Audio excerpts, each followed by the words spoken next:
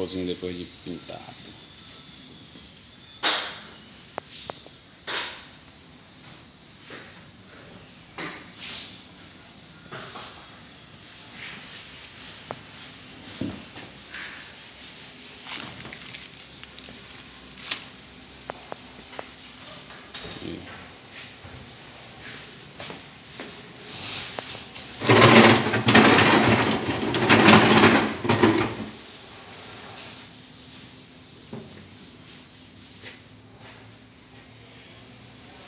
Nossa, ficou zero, hein, cara?